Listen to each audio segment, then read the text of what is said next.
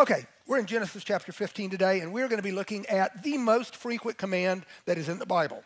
It is the command do not smoke cigarettes, right? Or do not drink, or do not go to bed with anybody other than your husband or wife.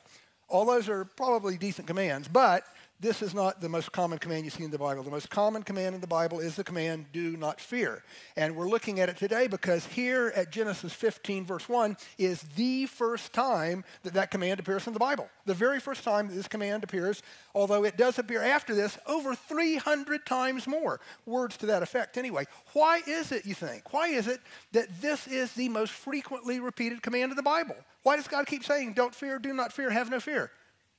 Because we are so afraid all the time. Is why? It's because that's our biggest problem fear. We don't think it is, maybe, but it is the biggest problem we have. So God addresses it more than He addresses basically any other problem. There was a, a survey, a study done by Chapman University just a few years ago, and they came up with the 20 most common fears in this country. I'm not going to go through all 20, but I do want to look at the top seven. We'll start from number seven and work our way to number one. Number seven, the seventh most common fear is the fear of flying. Fear of flying. I have that a little bit. Number six, the sixth most common fear is claustrophobia. Did you know that many people were afraid of Santa Claus? I mean, that's ridiculous, right? number, that's what it is, right? number five, number five, a fear of blood and needles. Blood and needles. Uh, if you're in the medical profession, you need to find a new job. Number four, the fear of drowning. Number three, the fear of bugs, snakes, and other animals. Number seven, fear of heights. I've got that one too. And number one, this is the number one on almost all surveys, a fear of public speaking, which tells you why I'm so messed up. I mean, it's, it, it's true. I mean, I, I, I, I do public speaking every week. But I come in every single week afraid. I do. I mean, I've got to fight it. I've got to fight the fear. I've got to ask God to help me. I've got to replace fear with faith. The, the deal is, I, I, come in because it's what I think God has called me to do, and so I feel a responsibility to do it, and I'm afraid I'm not going to do it well, and so it's a, a weekly, a weekly struggle. It's something that, again, you've got in some area of your life. So what's what's this really all about? What does it have to do with Abraham? Why is it coming in at this point in the story of Abraham? So let's read the story where we are today, at least in this story, in Genesis chapter 15, just the first six verses, where it says, after these things, and we'll talk about what things in just a moment, after these things, the word of the Lord came to Abram in a vision, saying, Do not fear, Abram. I am a shield to you. Your reward shall be very great.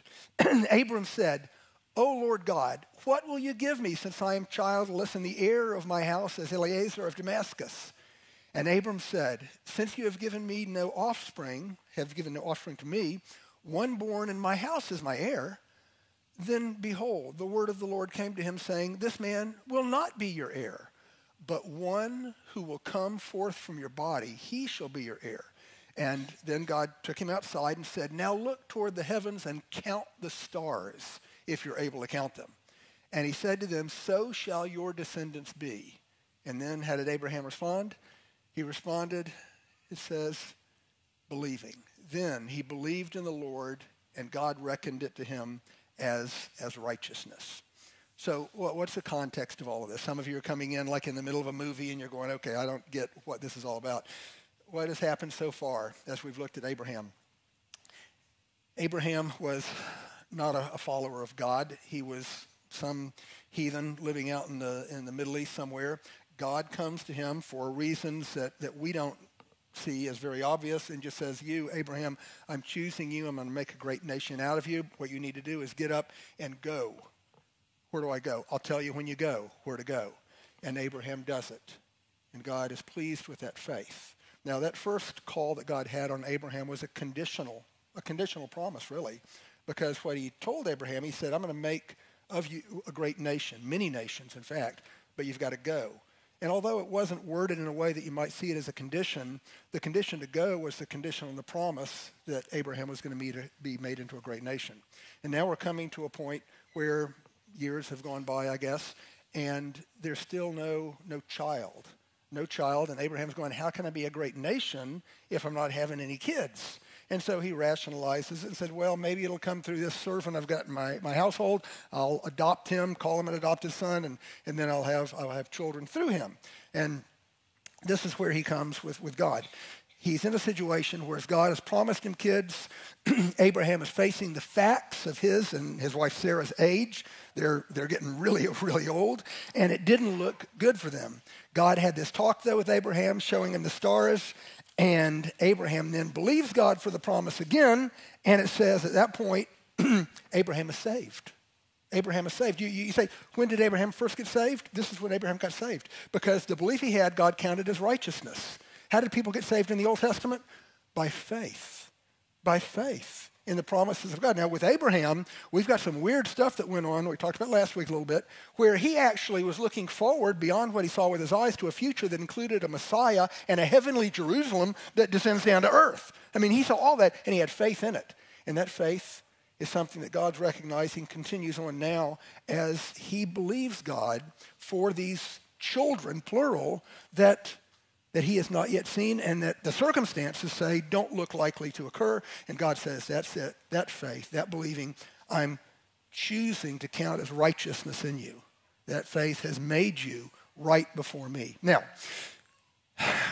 what's going on though with Abraham and all this? I mean, what has been going on inside him? What's going on inside him at the moment, at the time of this discussion with God? How does this work out where Abraham is moving from fear to faith? Because obviously he was afraid. God said, don't have fear because he had fear in him.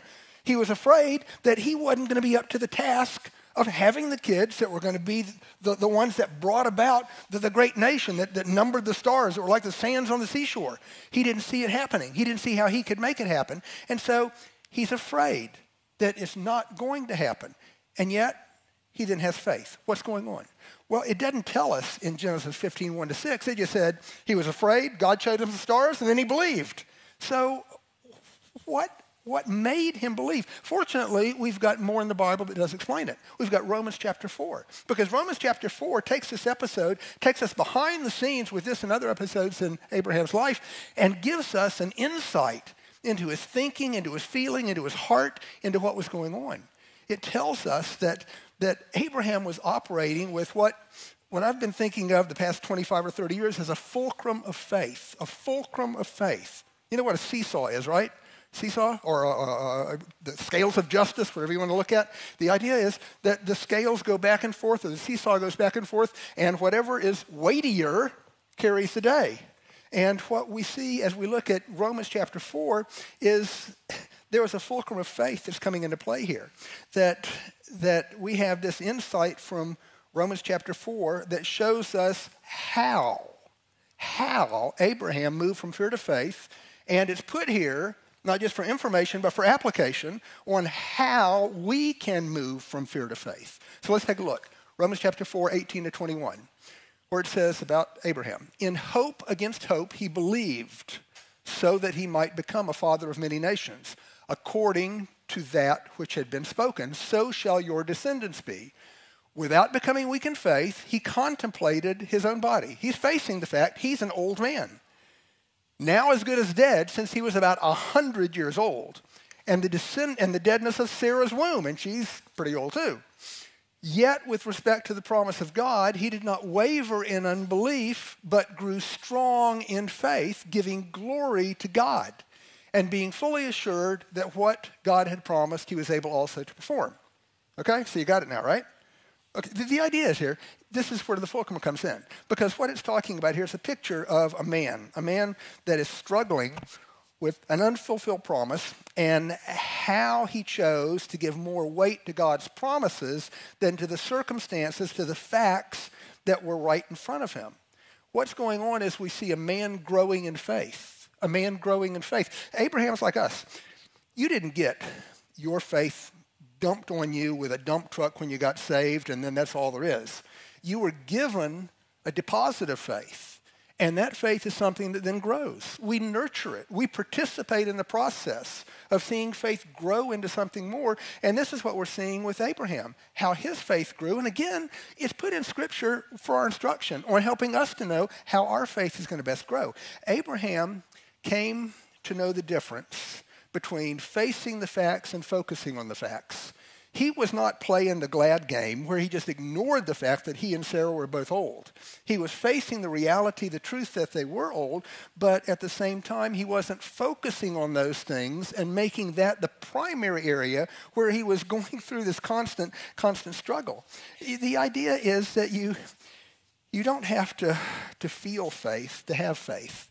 You, you don't have to feel you're all that to have it. He, he didn't have to stand in front of a mirror and say, I declare that I am a 25 year old virile male. I mean, he, he, he didn't have to play games with it. He didn't have to make himself feel like he was. He just had to believe God's promise. That's the thing. That's the difference. It's, it's the difference between playing games of faith and having biblical faith. Of, of playing games where you're declaring an unreality and facing the realities before you, but putting God in a place where He's bigger than the reality you're facing. I can remember so clearly, years and years ago, part of a, a charismatic church in Central Florida, wonderful church. But we were at a Bible study one night, and this lady came in sick as a dog. I mean, she was, her eyes were all red and puffy. She, her nose was running. She was sneezing. She was coughing. And we're going, oh, can we pray for you? You're sick. I'm not sick. I'm not sick. Well, what's the matter? I mean, what's going on? Said, I'm not sick. I declare I am not sick. And, and, she persisted with that for the next week or so until she got over the cold. But the, the idea was she had this idea that if she just declared it wasn't so, it wouldn't be so. Now, you know, I, and that's a whole area of theology, naming it and claiming it. But but we believe it and receive it. is the difference. We don't name and claim something and then it happens because we've named and claimed it. We believe the glory of God, the weight of God, the power of God, and we receive then from God what He wants to give us with the faith that we have in God. You go, what's the difference? A big difference. Because in one instance, we're declaring that we're something and making it something by what we say. In the other instance, we're looking to God. We're putting weight on God. We're putting ourselves in a position where we're giving glory to God. When we're looking at this, it's talking here about giving glory to God. It's what Abraham did. He gave glory to God in the face of his circumstances. The Hebrew word for glory is kabod. And what, what does it mean? It means weight. It means the weight. It means literally the weight of all that God is, of all that God is. And what Abraham learned to do probably as he was looking at the stars in the sky when God took him outside to have that talk with him, he's, he's considering the weight of who God is, the weight of the reality of the creator of the universe, the weight of the promises that he's given. And he's putting the, the weight on God as opposed to the weight on his old body. I mean, it's a reality, he's old.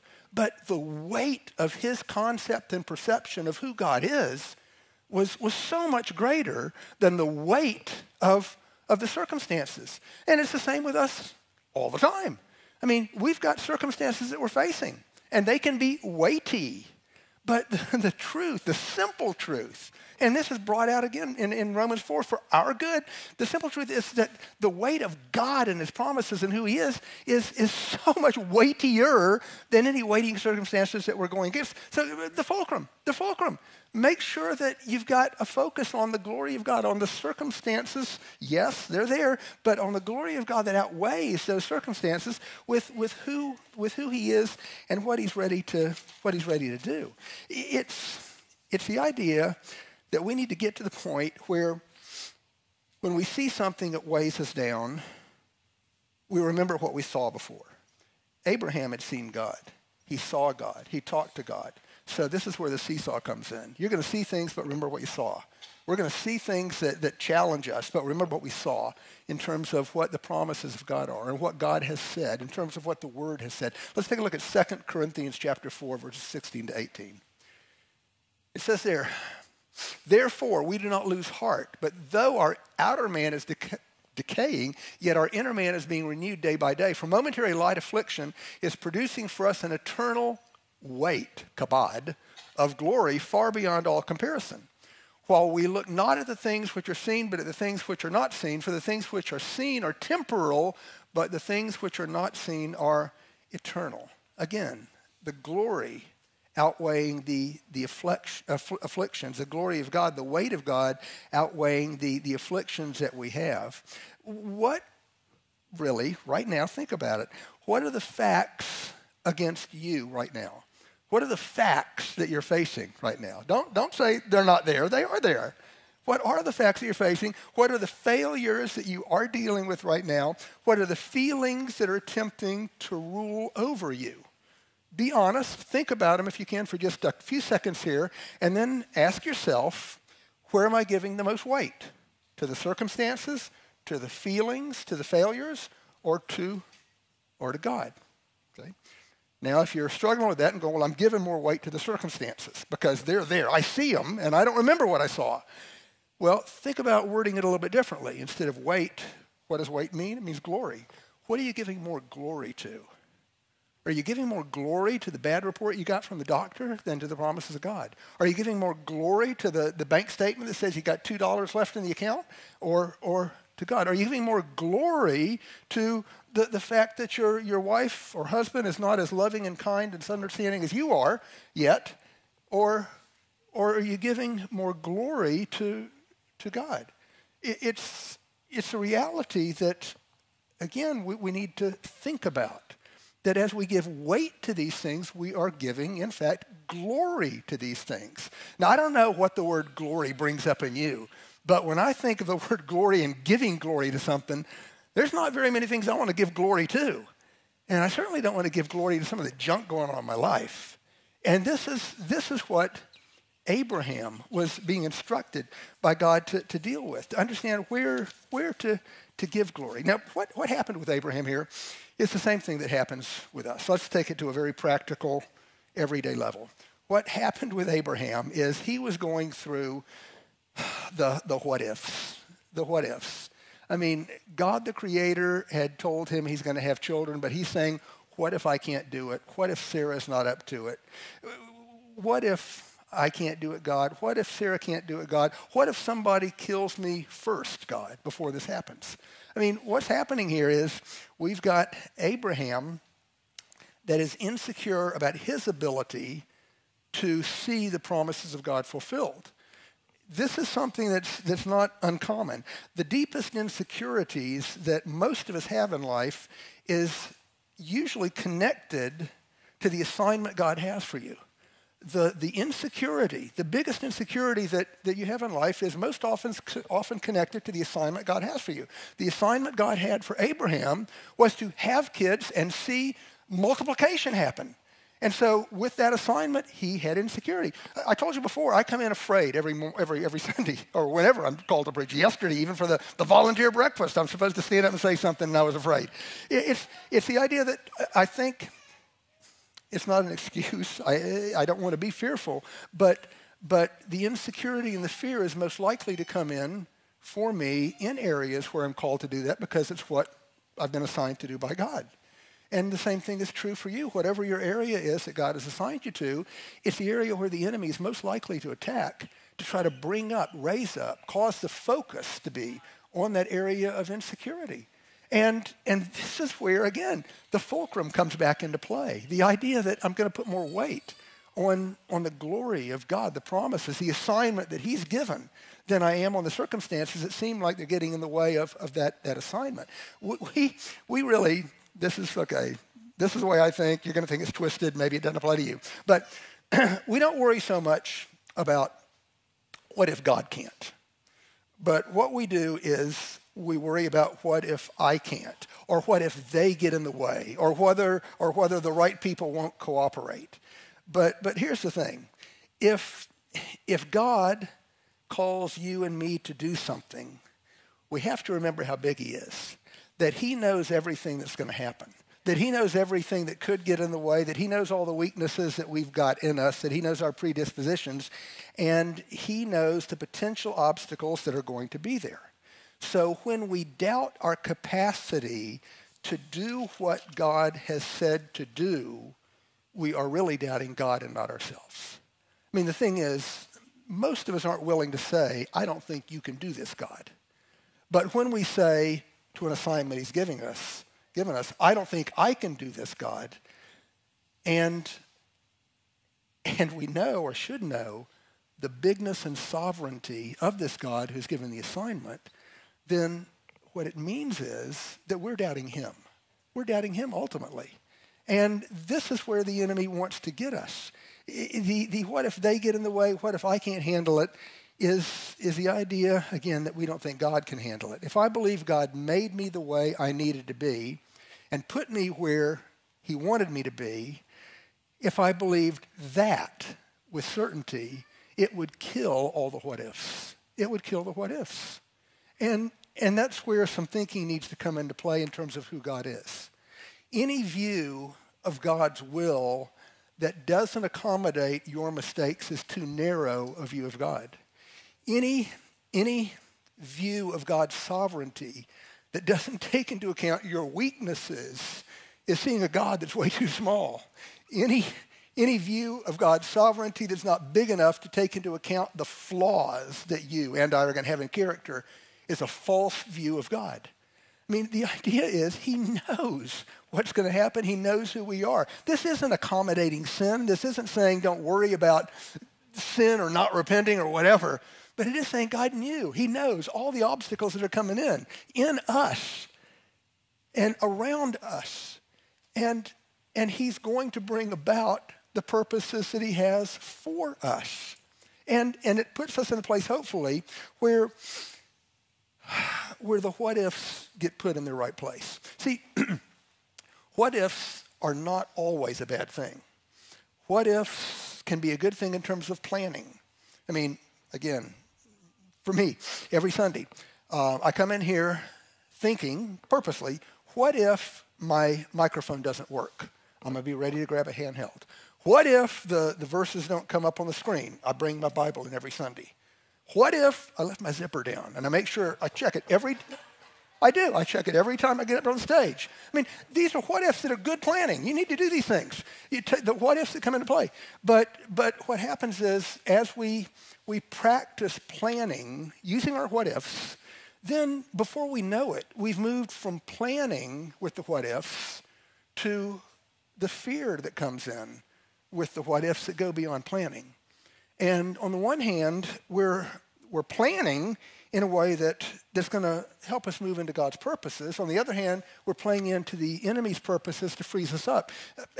Abraham, I, I think, started with some what ifs on the good side of the, the ledger when he was first called by God to, to go, to take off, to head for Canaan. I mean, he had something in his mind, I'm sure, that was saying, What if I actually move out and I become the father of, of many nations? and, and that was good. But, but then, you know, it's switched around here as they become part of, of something a lot more negative.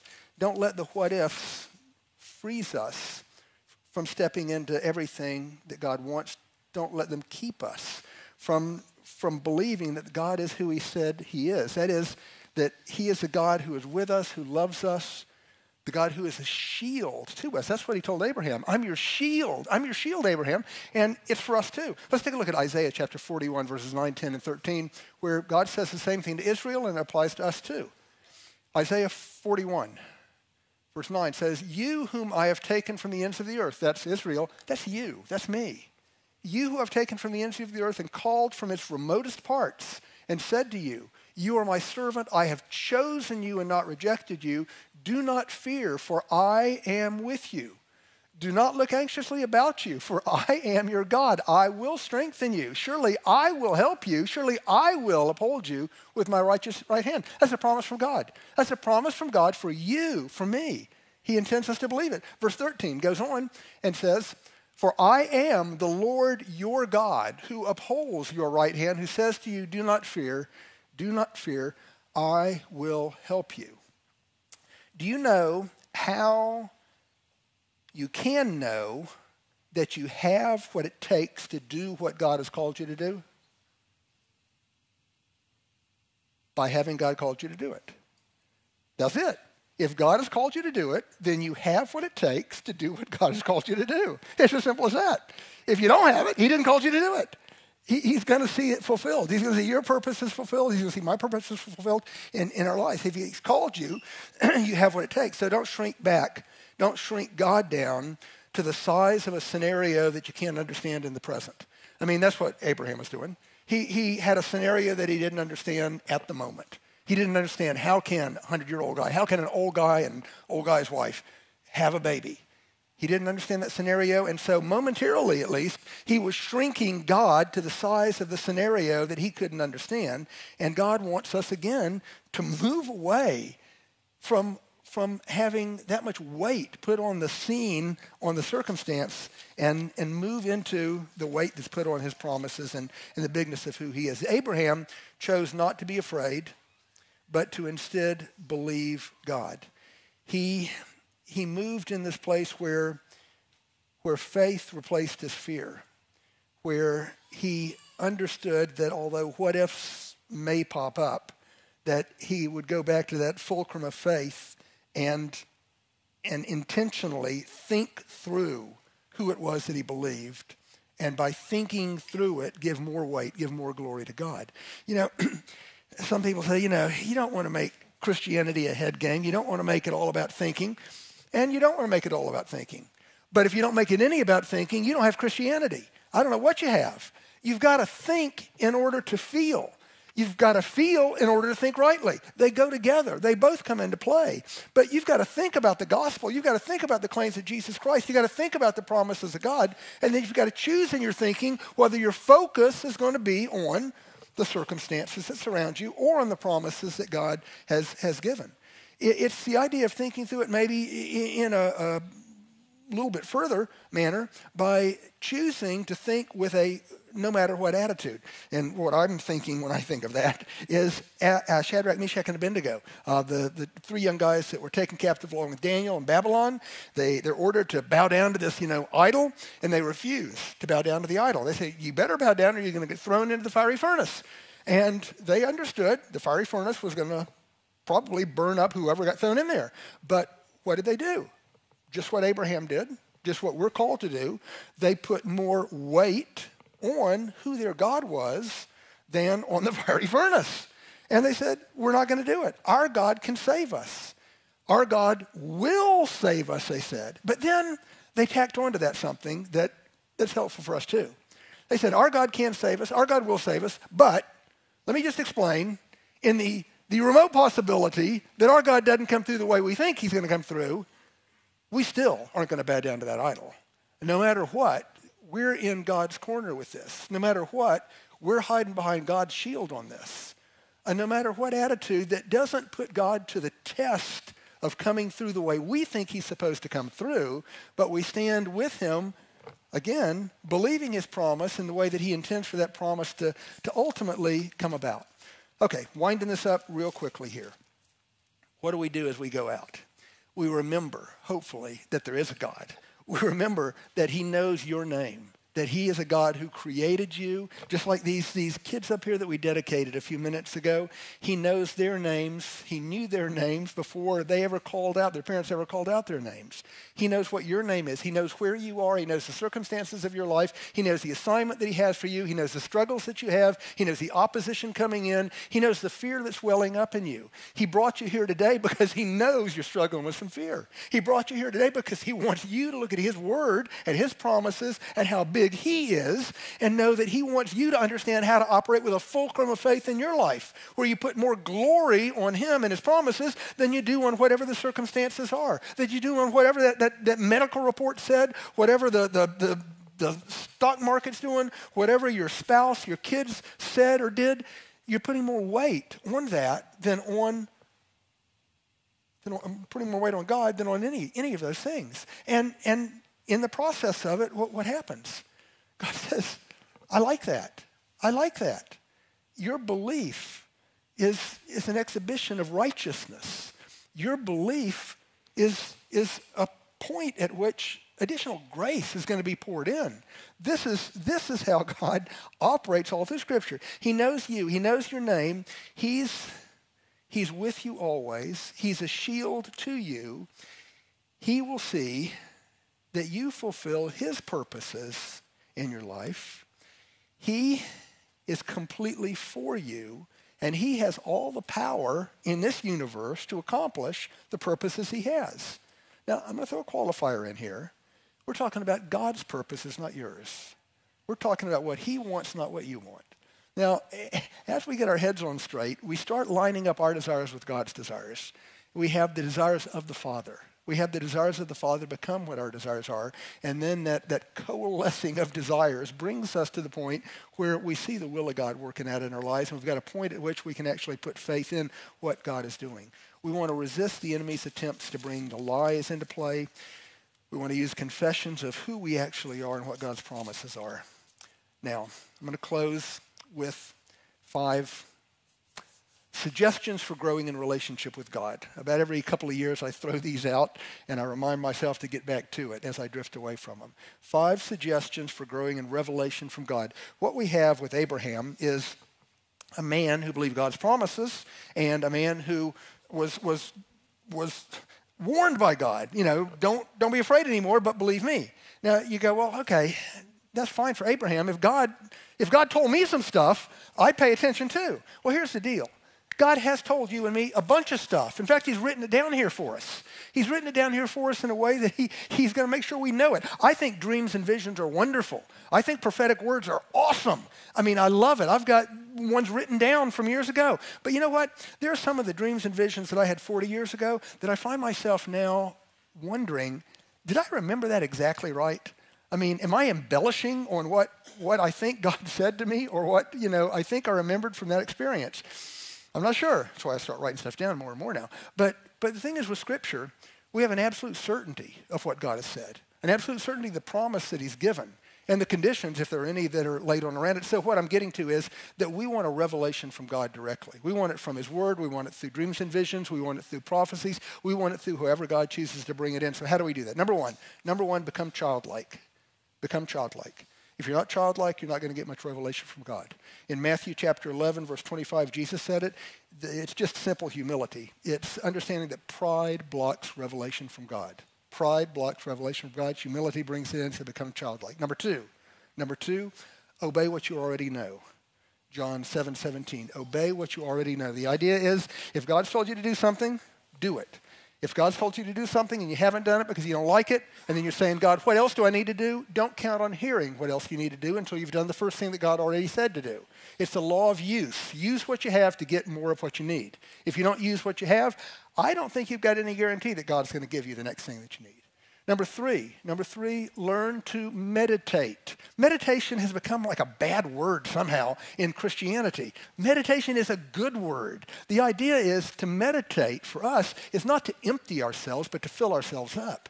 To meditate is to fill ourselves up with God's word. To meditate is to, to take things slowly, to slow down and absorb things, to take things in. Bible reading plans are wonderful. Read through the Bible in a year, but if you've got to make a choice between reading through the Bible in a year and going slow and absorbing slowly what the Bible says, go slow. Go slow. Absorb it. Abraham Lincoln's law partner said one time that Lincoln read less and thought more than any man in his sphere in America. He read constantly, but he was so slow.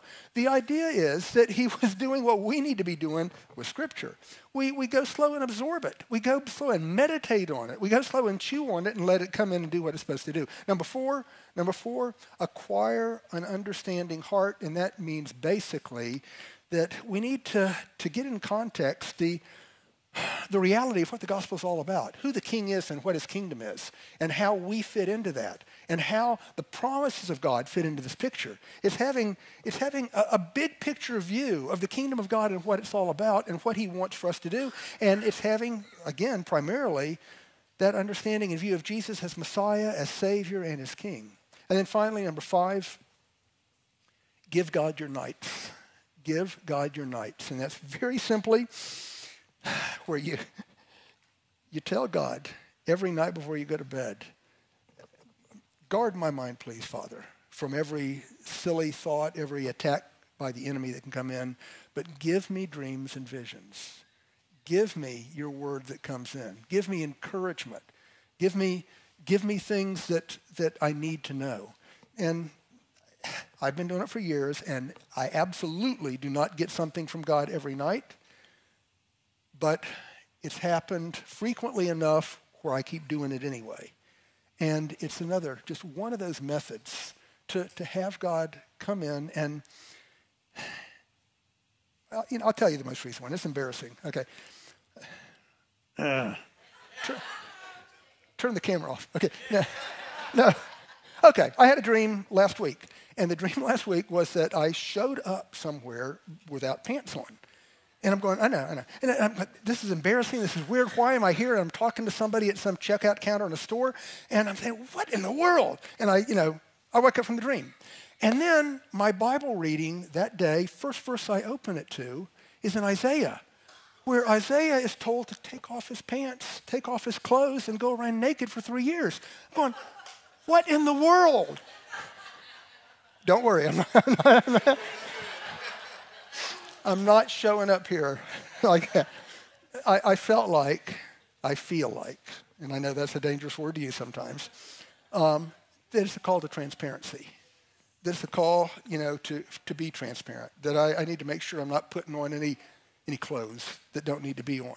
And again, the point is not about me. It's, the point is that those things come through, and, and we need to pay attention to them we need to pay attention to them and understand what God wants to do with them and act on them, you know, as we do. So, as much as, as you can, develop some, some rules for growing in revelation from God, to hear from God, to have a bigger view of who God is, to have an understanding of his promises, and to have a fulcrum of faith in your life where the glory and weight that you give to who God is is always always going to be there so that you can cause it to outweigh the momentary fear that comes in with the circumstances that are going to arise.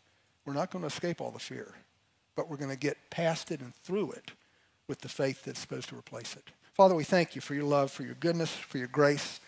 We thank you for the revelation that you've made to us on how big and how good you are. And I, I just ask now today that freedom would come that you'd bless us, every single one of us, with the, the childlikeness, the transparency to acknowledge where we've got struggles and fears, and to, to fix our focus on, uh, on you as the one who outweighs all of those. We ask you for that freedom today in Jesus' name. Amen.